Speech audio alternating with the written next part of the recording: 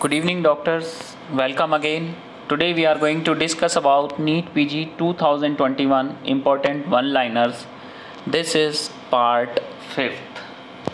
Let's start. Impact on the risk of contrast induced nephropathy by the drug rosuvastatin. If patient on rosuvastatin then this is a very high risk factor. Struvite stone associated with infection this is mainly associated with Proteus infection Proteus infection okay. Abnormalities protective against renal stone formation that is hypercitraturia hypercitraturia okay. True regarding renal cancer often present with hematuria renal ca it's renal carcinoma often presents with hematuria. Okay hematuria. Patient with hepatitis b develops nephrotic syndrome biopsy immune complex deposition. It is associated with membranous glomerulonephritis. Membranous glomerulonephritis.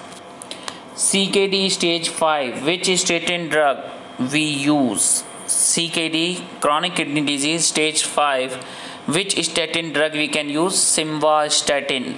Simvastatin but not more than 10 milligrams.